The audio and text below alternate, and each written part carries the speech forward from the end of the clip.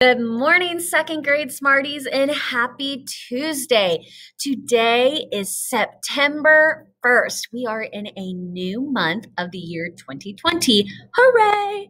So, today is our small group time for reading small groups three and four. Um, small group number three, you will meet with me at nine o'clock. In small group number four, you will meet with me at 9:30. We will have a new book that we will read today.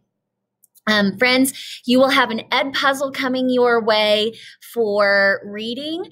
Um, you'll also be doing a Flipgrid today. Remember, that's that short video that you can do and you can do some edits.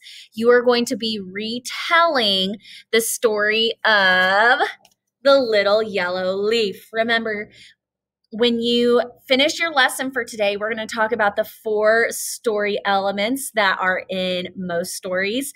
There's the main character, the setting, the problem, and the resolution. So, you guys are going to be retelling in less than two minutes the story of the little yellow leaf in Flipgrid. You will be getting that in Google Classroom.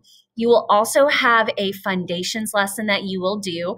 You will need your student notebook and your magnet board for that, as well as our daily math videos. So you will send me pictures of your practice pages. As long as you're doing the instruction pages with me during the lesson, you do not need to send a picture, but please make sure that you're doing that with me.